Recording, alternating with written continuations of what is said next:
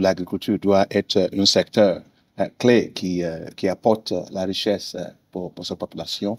Et comme vous le savez, la Banque africaine de développement fait beaucoup d'investissements ici sur l'agriculture de région d'Okara dans laquelle nous sommes en train de financer le développement de, de zones agro-industrielles, des parcs agro-industriels qui est vraiment très important. On a aussi discuté concernant les manufactures de, des engrais parce que vous avez beaucoup de dépôts euh, de, de, de euh, glissement euh, de phosphate. Donc, comment on peut transformer le phosphate avec le urée pour pouvoir faire le NPK.